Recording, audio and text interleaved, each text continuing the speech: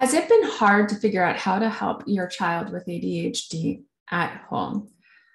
How to get the homework done, because that can be a sort of major source of frustration. How to get tasks completed or get them re engaged in life and handle those big emotions. These are all things that have been a challenge for me personally as I've been raising a child that has ADHD. And when I posted inside of our Facebook group, ADHD What Now, I found that they were same for other parents, that other parents were also experiencing a lack of clarity on how to help at home with executive function, social emotional skills, and um, a healthy mindset. That those were all important things. So, my name is Veronica with ADHD What Now? And about a year ago, I saw a parent post in a Facebook group My child was just diagnosed with ADHD. What do I do now? And the answer that came back from all the other parents was start your research. I just think there can be a better answer to that question. And so for the past year, I've been looking to develop that better answer. One of the parts of that is creating this upcoming event called ADHD Simplicity at Home. Now, the reason I think this is so important is because, like we just said, it's hard to understand those types of things and as parents in a home environment with kids with ADHD, we need it to be simple. We need it to not feel like additional homework, adding more onto already full plates, but how do we make it a simple shift?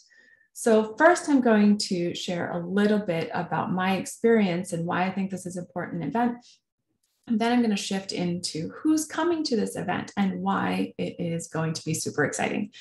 So, first off, um, for my experience, what I found was I was getting help for my kiddo in terms of I got went to an occupational therapist, he got some OT help. That was great. I'd come home with some tips and some tricks um, to utilize that were specific to him, which was fantastic. But that didn't always help me figure out how to solve the homework struggles at home.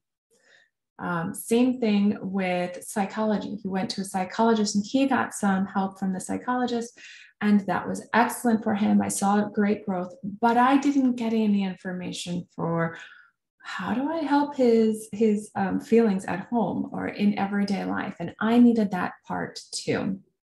So, if you're in the same boat and you want to grow your child's executive function skills, social emotional skills, and a healthy mindset, and know how to do it with simple shifts at home, then this is going to be the event for you. Now, as I mentioned, I have been putting together an answer to that question for the past year. And so, what I found over the past year when answering AD, my child has ADHD, what now, is that there are three big components to, to helping a child with ADHD. And those are one, supporting the brain and the body, two, growing skills, and three, having connected relationships. So this comes from interviewing multiple experts and reading numerous books written by multiple experts. Uh, and the great part about the event that's coming up, ADHD Simplicity at Home, is that we have people in there who are going to address each of those three areas that puts together a real holistic picture for supporting your child when they have ADHD. So, to introduce the speakers for our event, which I'm so excited about, First off, to address the body and the brain, because ADHD has to do with some underlying neurology challenges, right? So we have coming in Brainworx, and they are going to talk about um, handling big emotions and how do you help that at a kind of fundamental neurological level.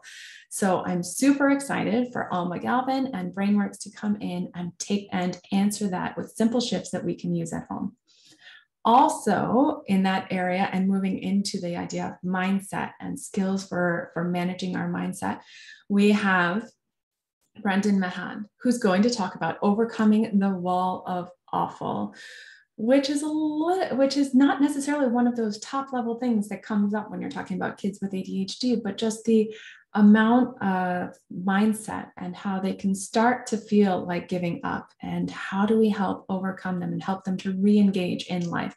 Again using simple shifts in how we speak with our kids at home. What does that look like? That's what we're covering inside of the event And also, you've heard this phrase, I'm sure, that pills don't teach skills. And so, an important part of helping a child with ADHD is helping them to grow skills. And that's when we're going to talk about homework skills, skills around homework and getting tasks done. The kids need skills to be able to do those things. And parents, we need skills to be able to help the kids in those areas. And what exactly does that look like at home? So we have coming in Cindy Goldrich, who is an ADHD coach and um, has been training other ADHD coaches for a number of years. And she's going to come in and address all the, the homework challenges. What simple shifts can we have around homework that can help us to get have the child get the homework done? And finally, we have the Childhood Collective coming in, and they are a team of psychologists and a speech and language uh, professional pathologist who is going to who are going to address how to get tasks done at home.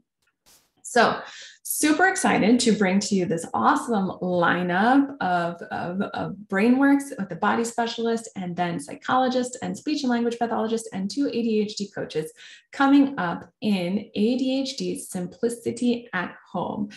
Register at www.whatnowadhd.com backslash simplicity. See you there. I can't wait.